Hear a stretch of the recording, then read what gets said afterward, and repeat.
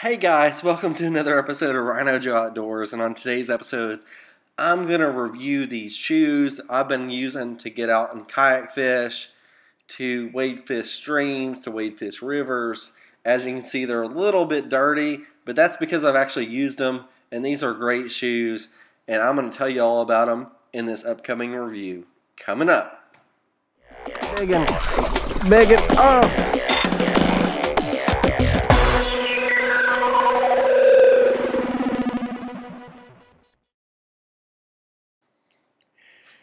So guys, as you can see here, I've got these shoes on in this video, but I've also used these shoes in the stream, in the rivers, on the lakes, and I'm actually really impressed with these shoes. Um, I've used a bunch of different shoes whenever I've been out kayak fishing. I've used an old pair of tennis shoes. I've used the Vibram like toe shoes, which I liked. But the problem with some shoes is is that they don't drain water and they also keep rocks trapped in your sole of your shoe.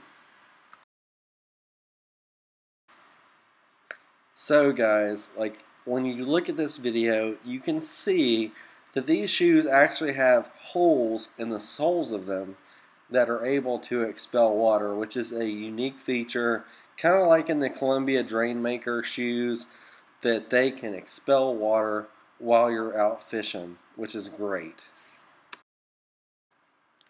Another great thing about these shoes is they have an elastic band that goes up the front of them that you're able to cinch down so you can keep rocks out of the inside of your shoes, which is one of the key problems that I have seen whenever you get out and get water shoes. So guys, if you like these shoes, check them out by my link in the description in Amazon. And as always, I appreciate you guys watching. If you like this video, please hit that like button. If you like my content, don't forget to subscribe.